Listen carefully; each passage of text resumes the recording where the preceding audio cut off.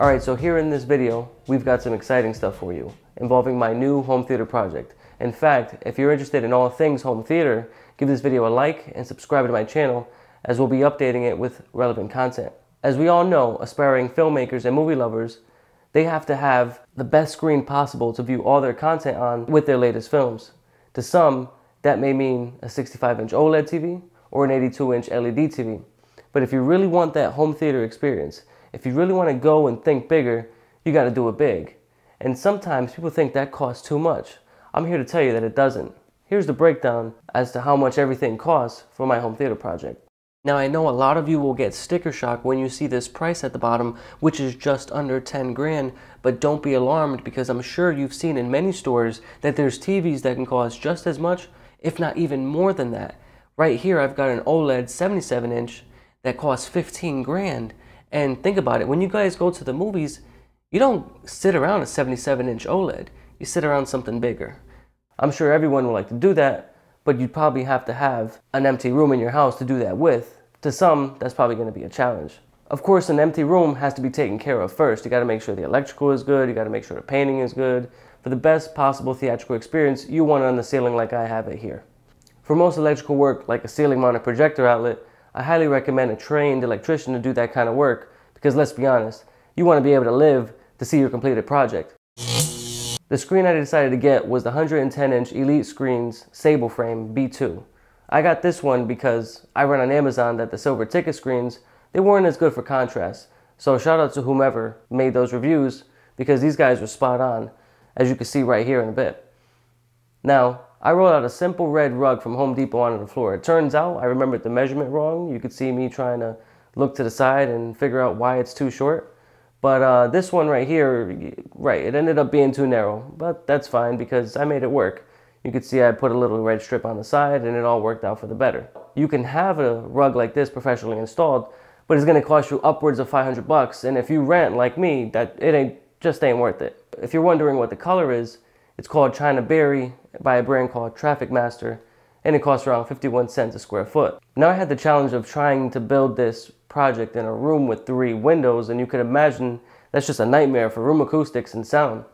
So two of the windows were facing the street and you could tell that was going to be a problem with noise and traffic and stuff like that. So the solution that I had was to buy some insulation, get some 3M77 spray, spray it to some cardboard, throw that in the windows with duct tape, and right then and there that'll reduce the outside noise.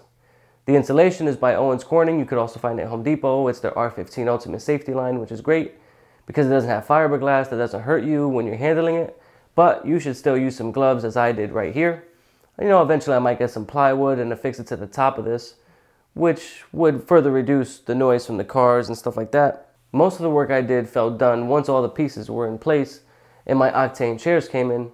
And I had a friend build this platform that you see here and it's able to hold well over 1,500 pounds, he tells me. Now, this platform will also get the rug treatment. Eventually, you don't see it with the rug right here.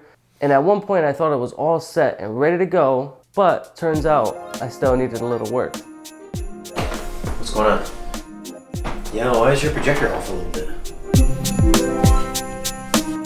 Just grab the ladder so I can just square it up a little bit, because it looks a little bit off.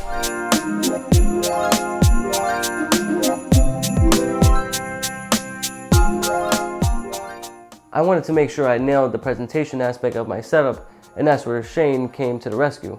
Check out his channel below and the links where you'll find reviews on the highest quality content and home theater gear available today. You also find tips and tricks to maximize your home theater's performance, which you can see him doing right now in my room. Overall, the picture and sound is perfect. You know, I only have a 1080p projector, it's the Sony 40ES, but like I said, it's a Sony projector, and that's their thing. Eventually I'll probably get a 4K projector, but in the meantime, the color, the clarity, the contrast, it's, it's spot on, it's perfect. It feels like I'm at the movies and in fact, sometimes it looks even better. It's definitely nice to see my editing work on the big screen, literally. You know, this allows me to judge whether an image is really noisy, whether there's posterization, whether there's macro blocking, stupid stuff like that. If it looks good on that screen, it'll look good anywhere. Mobile devices, tablets, computers, whatever. Now, while the black levels aren't as good as this beast right behind me, the Sony A1E, the sound and scale of the room is what consistently bring me back to it time and time again for quality presentations, solo sessions, or hangout sessions.